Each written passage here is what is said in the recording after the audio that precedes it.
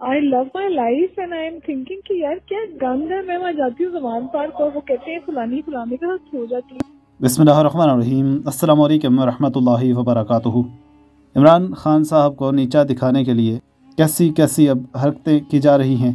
अब कहा यह जा रहा है कि जमान पार्क से Samira M P A P T I Shanila Ali, chief organiser P T I दोनों के बीच की ये कन्वर्सेशन है, जिसमें समान पार्क के इतराफ़ में होने वाले मकरुआ धंधे को वो बेनकाब कर रही हैं।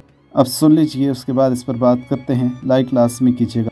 I love my life and I am thinking कि यार क्या गंद है मैं वहाँ जाती हूँ जमान पार्क और वो कहते हैं फलानी फलानी के साथ सो जाती है और ये उसको सर्विसेज़ देती है और ये उसकी कीट और ये उसकी फलानी है और मतलब वो बातें सुनने के बाद मैं सोचती हूँ कि यार ये कौन लोग हैं यार? ये कौन लोग हैं ये क्या ज़िंदगी है? यार भागो यहाँ से बस।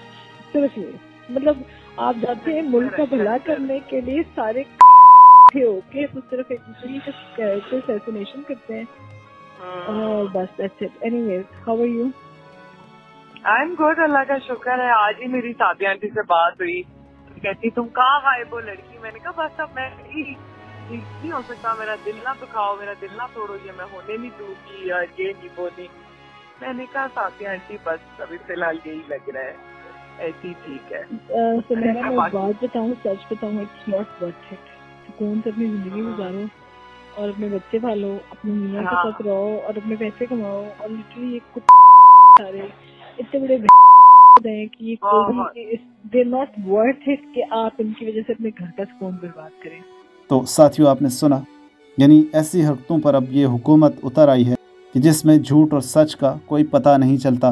पहले इन्होंने इस कदर झूठी चीज़ें फैलाई हैं कि शायद अब कुछ सच भी सामने आए तो वो भी नाकबले यकीन हो जाए। अवाम इन्हें मनहूस करार देती है कि लानत है इन झूठों पर जिन्होंने हमेशा बकवास के ज़रिए से दूसरों को नीचा दिखाने की कोशिश की।